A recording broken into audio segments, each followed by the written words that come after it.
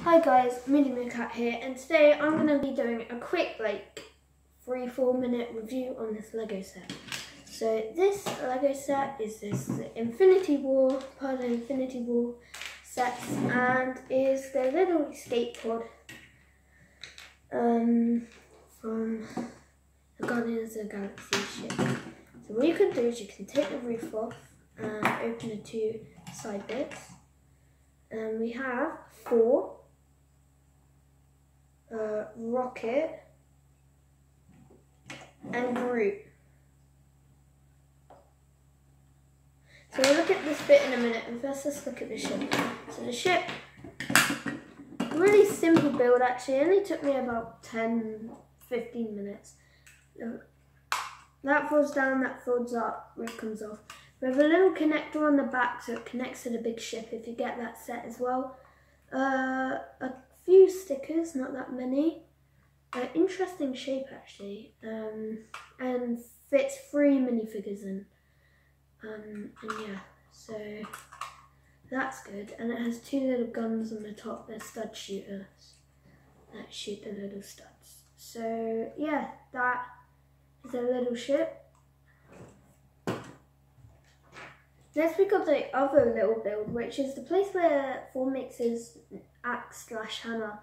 Um, this thing spins around from the back, but there's a little thing that you can twist. Also that moves up and down as well.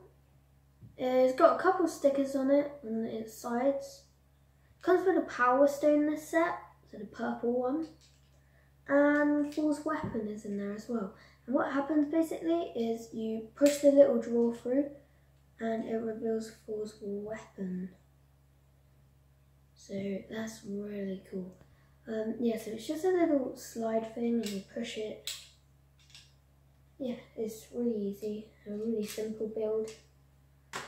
Now the, the figures, we got Groot. Um, the, these guys, the figures' weapons don't fit in the spaceship at all apart from Rocket's weapon, which is a little gun. So here's Groot. He has this little branch. It's really cool. We've got Thor, and you can use his axe. He also has another face with lightning eyes. There's Thor, and he can have some lightning um, things as well.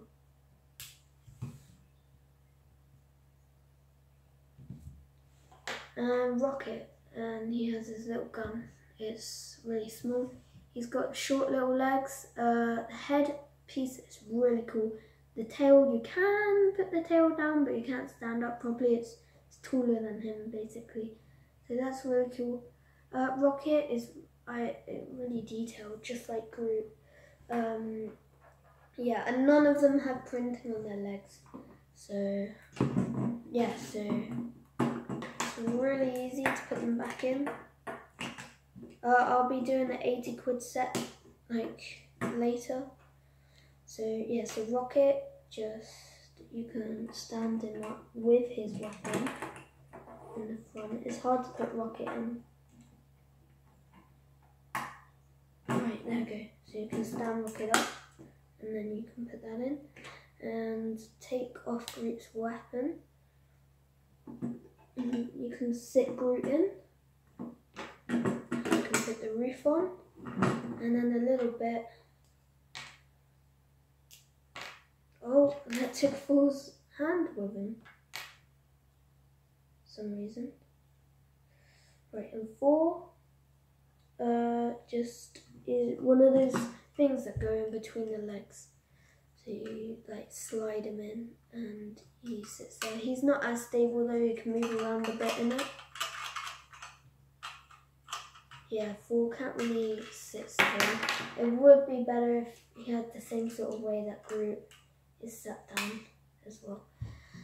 So yeah, all three minifigures fit in there. Then you can have their weapons on the ground separately there. Something, and then we got the other build with the power stone. And yeah, it, you come with three spare power stones, and they're really small. And yeah, so So that's this simple build. Uh, it took me about 15, 10, 15 minutes basically. Uh, yeah, and I think it's worth it to get Thor Groot and Rocket in a really cheap set. So yeah, this was 20 quid. Um, next one I'll be doing is the 80 quid Endgame compound set. Comes with Thanos, which is really cool. So see you guys then. Yeah. Bye.